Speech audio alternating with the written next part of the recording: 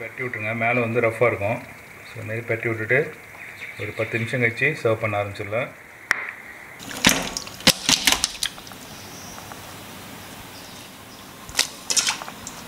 Wash பண்ணுங்க.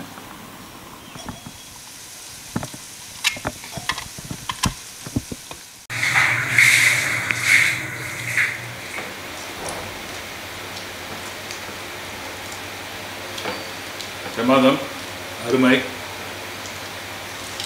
அருமை. அவ்வளோதான் நான் சொல்ல முடியுது. அருமை. அவ்வளோ டேஸ்ட்டாக இருக்குது ட்ரை பண்ணி பாருங்கள் லைக் பண்ணுங்கள் ஷேர் பண்ணுங்கள் சப்ஸ்கிரைப் பண்ணுங்கள் மறக்காமல் பெல் பட்டனை ப்ரெஸ் பண்ணுங்கள் என்னோடய வீடியோ மிஸ் பண்ண மாட்டீங்க. சூப்பராக இருக்குது ஸ்டேஜில் வந்து காஷ்மீர் சில்லி பவுடர் ரெண்டு ஸ்பூன் ஆட் பண்ணிங்க. ஸ்பூன் அளவுக்கு பிரியாணி மசாலா ஒரு ஸ்பூன் அளவுக்கு பிரியாணி மசாலா ஆட் பண்ணிங்க மிக்ஸ் பண்ணிங்க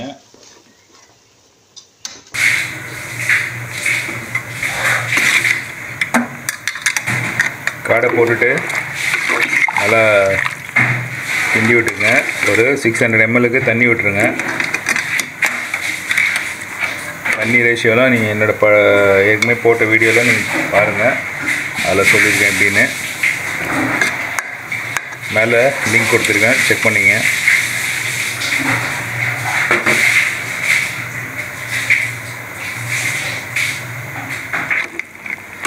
பாருங்கள் காடை வந்துட்டுருக்கு. ஒரு ஃபிஃப்டி பர்சன்ட் வந்துட்டுருக்கோம். பாருங்க. ஸோ இந்த ஸ்டேஜில் ரைஸ் வந்து போட்டுடலாம். அதோட உப்பையும் செக் பண்ணிவிடுங்க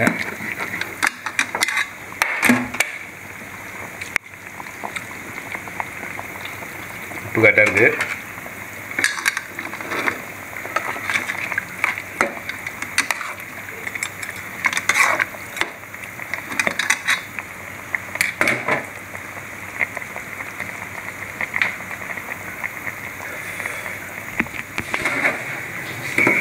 இது தம்மு போட போகிறோம் ரைஸ் பாருங்கள் ரைஸ் வெந்துட்டுருக்கு இந்த பக்கம். இந்த அளவுக்கு வேணும்.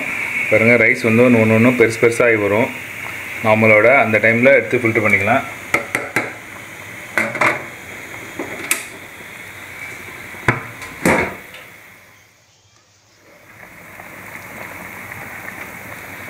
ரைஸ் ஃபில்ட்ரு பண்ணிட்டேன். ரைஸை ஃபில்ட்ரு பண்ணிச்சு ரைஸ் பாருங்கள் இந்த அளவுக்கு தான் ரைஸ் குக் ஆகிருக்கணும் பாருங்கள் அப்படியே சென்டர் போர்ஷனில் போடுங்க.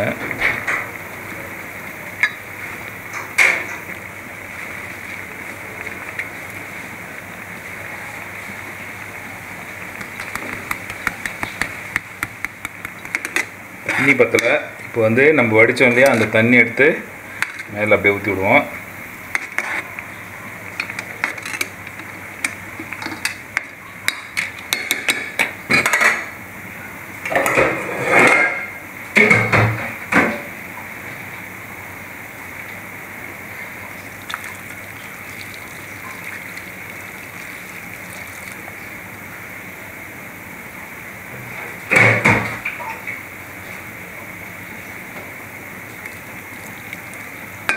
அவ்வளோதான் தண்ணி இந்த அளவுக்கு மேலே இருந்தால் தான் ரைஸ் வந்து உங்களுக்கு நல்லா குக் ஆகும். பொல பொலன்னு வரும். ஸோ அதனால் வடித்த தண்ணியை மேலே விட்டுங்க. மேலே புதினா போட்டுங்க. கொஞ்சம் கொத்தமல்லி.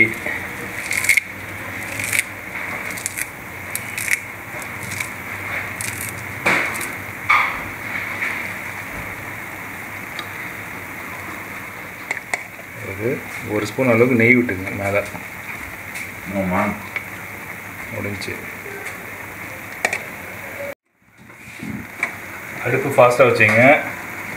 ஒரு ஃபைவ் டென் ஃபைவ் மினிட்ஸில் என்ன ஆகிடும் ஸ்டீம் வர ஆரம்பிச்சிடும் இந்த சைடெல்லாம் அதுக்கப்புறம் தம்மு ஸ்டார்ட் பண்ணிக்கலாம். அதுலேருந்து ஒரு டுவெண்ட்டி மினிட்ஸில் தம்மு ஓகே ஆகிடும் ரைஸ் குக் ஆகிடும் சாப்பிட ஆரம்பிச்சிடலாம்.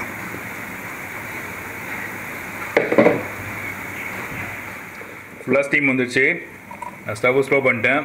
இதுலேருந்து ஒரு ஃபிஃப்டி மினிட்ஸில் ரைஸ் குக் ஆகிடும் பிரியாணி ரெடி ஆகிடும் வாங்க எப்படின்னு பார்ப்போம். தம் ரெடி பண்ணி பார்த்துடலாம் பிரியாணி வா.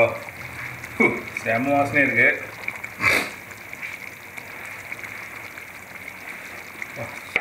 அப்படி பட்டி விட்ருங்க மேலே வந்து ரஃப்பாக இருக்கும். ஸோ மாரி பட்டி விட்டுட்டு ஒரு பத்து நிமிஷம் கழிச்சு சர்வ் பண்ண ஆரம்பிச்சிடலாம்.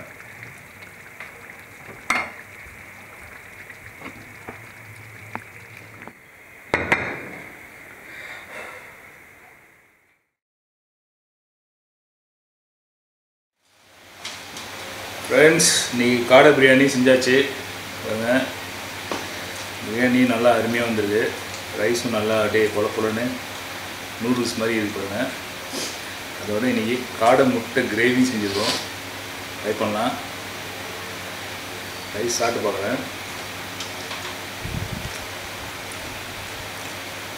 அருமையாக இருக்குது காடை முட்டை டேஸ்ட் பண்ண ஆசையாக இருக்குது நைஸ். கிரேவி முட்டை பிரியாணி. அருமையாக இருக்குது காடை நல்லா வெந்திருக்கு. செம்ம சாஃப்டாக இருக்குது காடை.